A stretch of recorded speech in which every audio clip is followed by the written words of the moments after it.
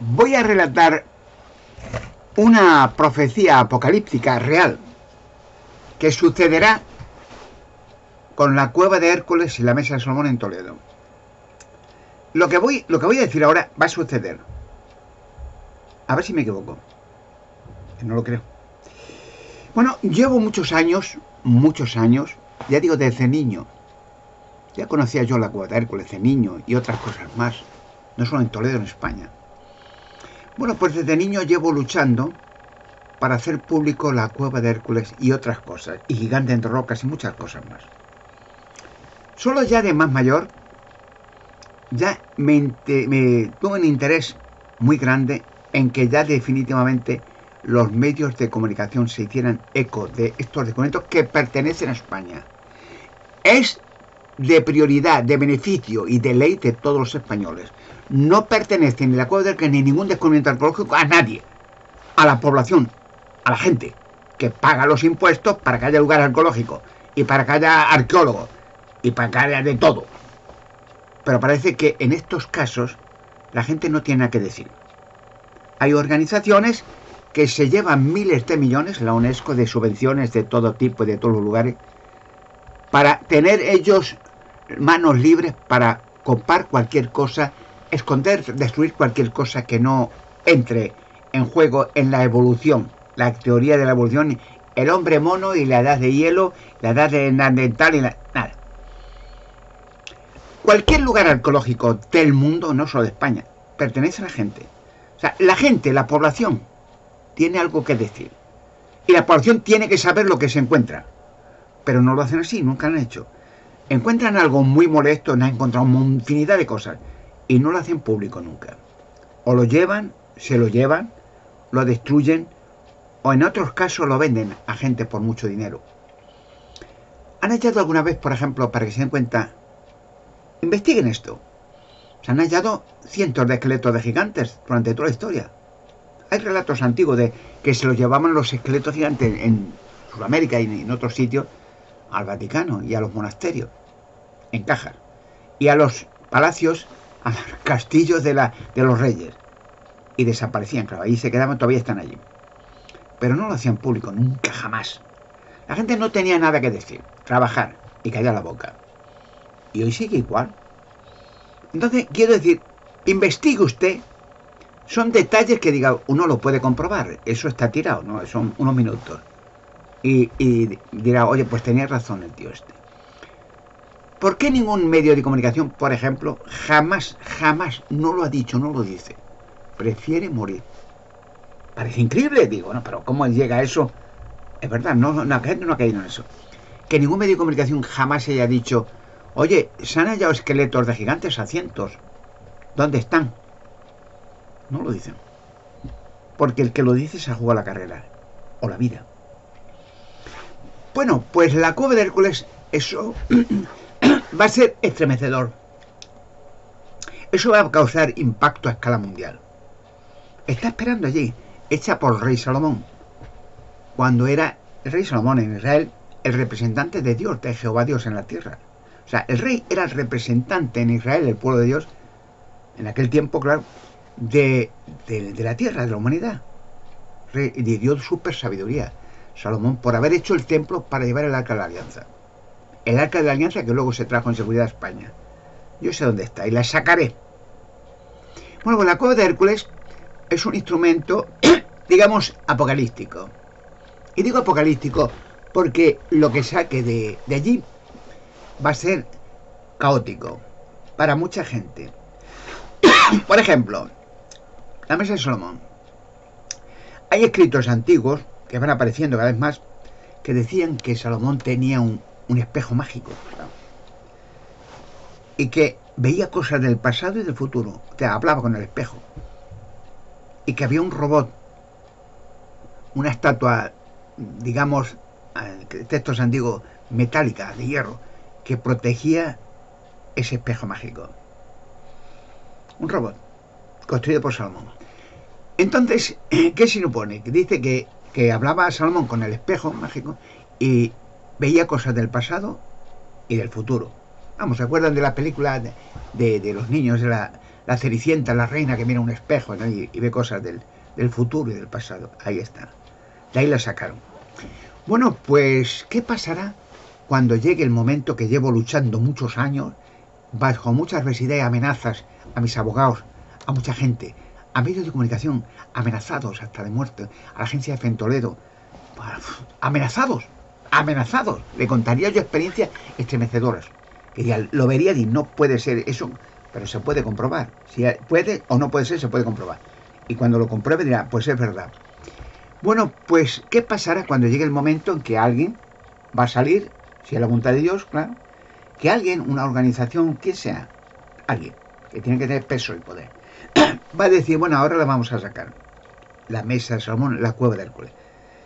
Bueno, pues, en resumidas cuentas, llegará ese momento, porque será espectacular, fantasmagórico, en ese momento.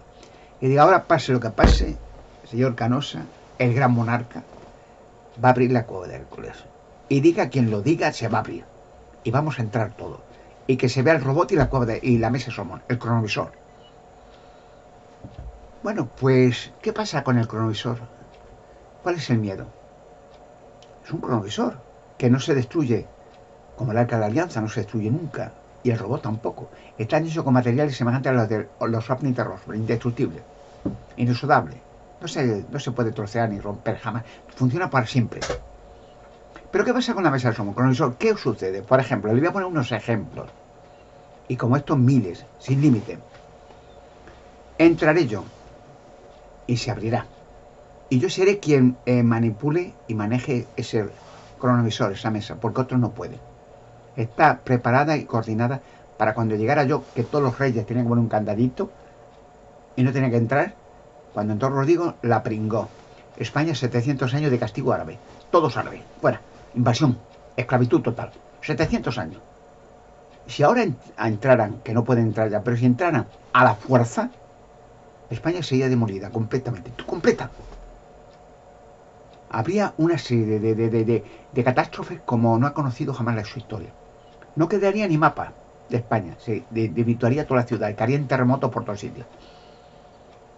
Entro yo. Esto vamos a poner que va a pasar, ¿eh? Bueno, pues ya llegar una, una sociedad, una organización. Bueno, señor Canosa, vamos a aportar todo lo que haga falta. ¿Qué, le, hace falta? Pues entrar. Pero que no pongan impedimentos y no venga nadie, el arqueólogo tal, de a la cabeza a husmear y no, ahora nosotros, no, no, no tenéis nada que pintar aquí. No, no, nada de que viene la UNESCO, que la UNESCO tiene que entrar primero y ver qué hay ahí, y entonces eh, con el pincelito y tal, y, dentro de unos años, cuando ya ya han averiguado, no, no, no.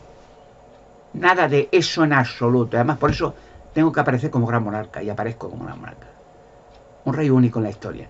Entonces diga, no, no, la mesa la van a ver los españoles. Voy voy a llevar abogados, jueces, que lo vean. Pero no ustedes. Ustedes ni de mirones siquiera. Fuera. Y entonces, claro, habrá un grito en el cielo en ese momento. No, no, y entonces, porque vendrá el miedo y las amenazas y el terror.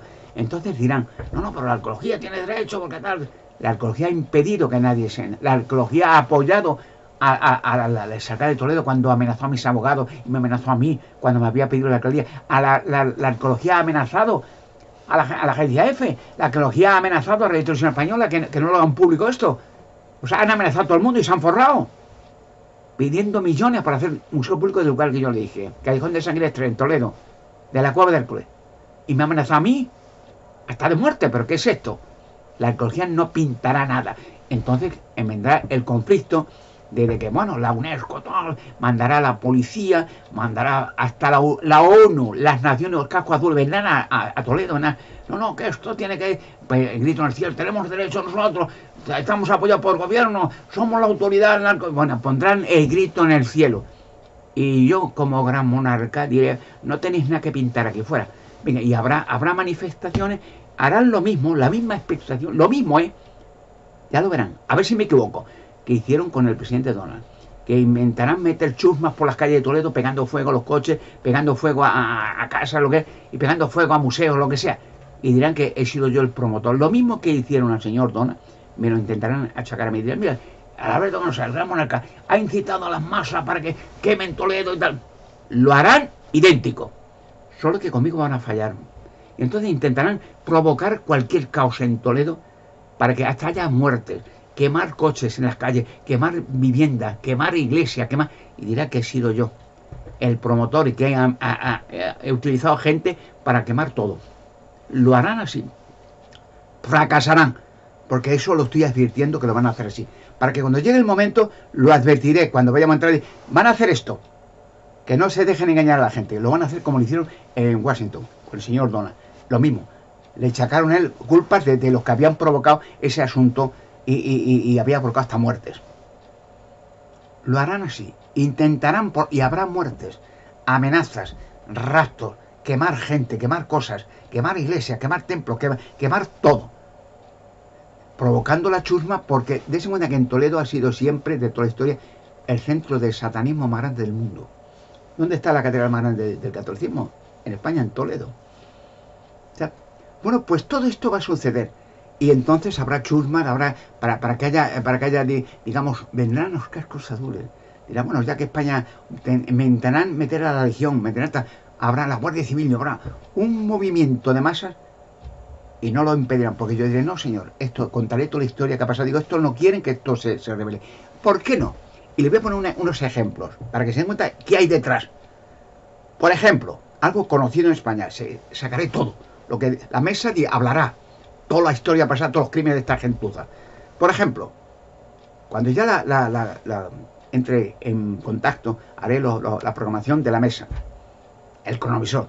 Y fíjense el por qué habrá tanto miedo y, gente huirá de España, gente irá con, gente de pasta y no, no, vámonos de aquí, que esto ya, ya quema. Yo abrí, manipular la mesa y diría, bueno, vamos a ver, unas preguntas. Por favor, salgan imágenes reales, saldrán imágenes tridimensionales, de gente real, no de, de, fantasía, de, de, hologramas, de visión, no, real quién asesinaron, cuándo, cómo y por qué, cuánto dinero pagaron a estos dos mangantes. Eh, uno estuvo en la cárcel casi 20 años, el más tonto. Bueno, pues, ¿quiénes intervinieron? A las niñas de Alcácer, 1992, en Valencia, Alcácer. ¿Cuántos las asesinaron? ¿Cuántos tipos de esta gentuza las violaron? ¿Cuánto tiempo? ¿Dónde las violaron? ¿Dónde las, las torturaron? arrancándole con tenaza los dientes, los pechos con tenaza, pegando las patas, pisoteándolas, violándolas por, todas, de forma de, vamos, de todo tipo, aberraciones diabólicas, paliza y, y, patadas, bofetadas y puñetazos, los sádicos más diabólicos del mundo. Y, durante mes y medio, que salgan todos. Y se ve la imagen de fulano, fulano y el otro, y la gente se horrorizará, Dios mío, este y el otro y el otro. Saldrán, un, ese es el miedo y, la que se va a liar va a ser gorda porque estos huirán de España corriendo con todo lo que hayan robado, pues, pues, aire, todo, todo. Se recuperarán. Compramos una cara y que vuelvan a la policía Interpol que los traiga a España y allí en el taleco se pudieran de por vida. Entonces, por ejemplo, otra cosa. Por ejemplo, la, mesa de Salomón, que, a ver, la niña Madeleine allí en Portugal, ¿quién la vendió a quién? ¿Cuánto pagaron por su venta? ¿Dónde la torturaron la cría? ¿La sacrificaron? Etcétera, etcétera. ¿Quiénes la vendieron? ¿Cuánto dinero? ¿Quién las pagó? Y ahí saldrán las alturas de Inglaterra, las más grandes alturas. ¿Creen que quiere que eso salga?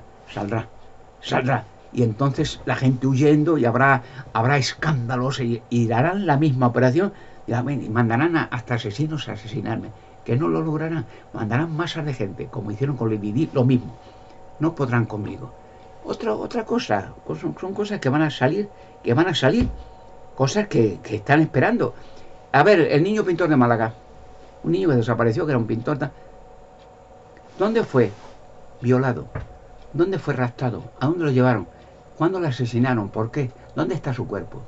Y se harán imágenes, un tal sitio, ¿no? Ahí se, irá a buscar y ahí está. A ver, el niño pintor de Málaga hace algunos años, bastantes años, que desapareció, su padre llevaba un camión cisterna con, eh, digamos, ácido sulfúrico, pero llevaban droga también, paquete de droga. A ver, ¿en qué furgoneta Nissan? ¿Quién estaba aquella furgoneta que se llevó al niño de la cabina, dejó una zapatilla más y salió corriendo? ¿Dónde asesinaron a aquel niño? ¿Quiénes la asesinaron? ¿Quiénes eran los responsables? Ahí empezaron a caer de todo el mundo todo el mundo implicado en roga, en asesinato, en satanismo, en violaciones de niños. ¿Comprenden ahora por qué la mesa de Salomón da pánico. Entonces esta gente dirá, no, pero es que esto, esto por, por entrar el año 711, eh, Rodrigo, España sufrió 700 años, hay una maldición, si ahora entramos va a ser otros 700. Van a empezar a mentar bolas para que la gente no, entre y se tape aquello, como hicieron ya con el callejón de Sangre, tapiaron sí, los túneles que yo le dije y una cristal de antibalas y, que no entre nadie, ni fotos. que allí harán lo mismo, pero no, no porque yo lo advertiré lo que van a hacer. Entonces nada más entrar ya habrá gente preparada que no entre nadie. Lo irán, harán un tumulto, un acto apocalíptico tras otro en Toledo, como no ha conocido la historia mundial. Hay unas profecías de la cueva de Hércules que dice que la próxima vez que entre alguien en la cueva de Hércules seré yo. Empezará en Toledo, dice la está en Toledo esa profecía de la cueva de Hércules. Empezará en Toledo una catástrofe como no ha conocido en la historia del mundo y se extenderá por toda la tierra. Y el Vaticano y la Iglesia Católica completa caerá. ¿Comprenden aún por qué la Hércules es tan peligrosa para tanta gente? Ha llegado el tiempo de revelar enigmas y misterios. Y eso hará rodar muchas cabezas de mucha gente que pensaba que eran intocables. Ya ven que no lo son. Y muchos ya están huyendo. Ya se están comprando búnkeres fuera de España. Los haré volver a España todo, como era monarca.